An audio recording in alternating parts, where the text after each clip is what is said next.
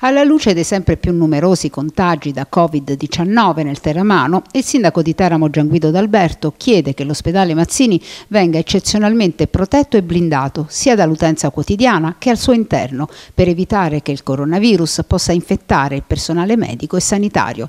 Se ciò avvenisse sarebbe una vera catastrofe in questo momento di emergenza. Sindaco, che cosa chiede per l'ospedale di Teramo? Il nostro ospedale e tutti gli ospedali in questo momento di grandissima emergenza vanno assolutamente blindati e protetti in modo assoluto.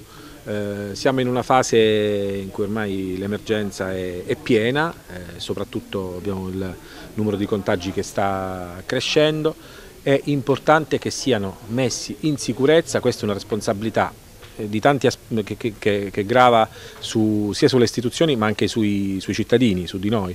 Intanto sulle istituzioni che devono dotare, ed è assurdo che ci possa essere una carenza all'interno degli ospedali, eh, tutte le strutture ospedaliere, la nostra ASL, le ASL del territorio, di, eh, dei dispositivi di, di protezione. E poi spetta anche a noi, spetta anche a noi, noi cittadini, cercare di evitare eh, il più possibile, laddove non sia appunto necessario, vitale, eh, l'accesso nelle strutture ospedaliere, nel nostro ospedale, ospedale, che è il presidio fondamentale e che oggi dobbiamo eh, proteggere perché è il presidio che ci consentirà di uscire da questa situazione di grande difficoltà. Ci sono buone notizie per gli asili nido. L'assessore comunale Andrea Core ha assicurato che verranno rimborsate le rette pagate per il mese di marzo, mentre al COC di Teramo si lavora senza sosta per rispondere alle chiamate dei cittadini e per organizzare la consegna a domicilio di ossigeno, viveri, medicinali e pannoloni per gli anziani.